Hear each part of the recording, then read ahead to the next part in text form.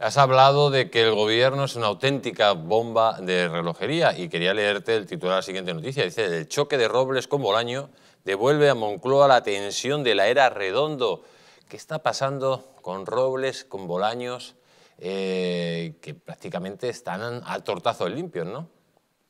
Mira, lo que está pasando es que eh, si tú das la explicación y Margarita Robles ha retado a los separatistas y les ha dicho, quieren ir a los tribunales, solicítenme la información a través de los tribunales, que solamente a través de un juez se pueden desclasificar o se pueden visualizar de alguna manera esos secretos, aunque sea de forma limitada, y en ese momento se van a enterar ustedes. ¿A qué está aludiendo? Vamos a ver, ¿por qué se han realizado 18 investigaciones totalmente normales, totalmente legales, totalmente justificadas judicialmente contra separatistas, porque tienen indicios criminales. ¿Vale? ¿Quién conocía esa información? Esa información la conocía Pedro Sánchez. ¿Con quién decidió pactar Pedro Sánchez? Con los mismos que tenían indicios criminales. O sea, hay una sala del Tribunal Supremo que controla el uso de los fondos reservados, las grabaciones por parte del CNI. España no es Venezuela. Y lo digo con todo el respeto para los pobres venezolanos que están teniendo que escapar de allí y para los pobres que incluso mueren allí. Pero España sigue teniendo determinadas garantías judiciales.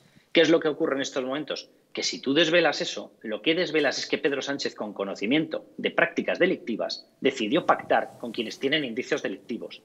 Y por tanto el que tiene el problema es Pedro Sánchez. Esa es la locura en la que hemos entrado.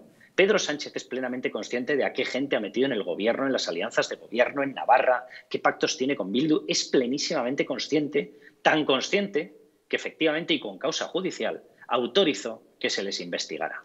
A partir de ahí el problema lo tiene político. ¿Qué es lo que ocurre? Que Margarita Robles realizó la labor para la cual está comandado el CNI y lo hizo con autorizaciones judiciales. ¿Y ahora quién se lleva el ataque? Margarita Robles. ¿Y qué hace Pedro Sánchez como buen cobarde que es? Retirarse y dejar que la pedreen. Es lamentable lo que está ocurriendo en el gobierno, pero sobre todo es lamentable desde el punto de vista de España.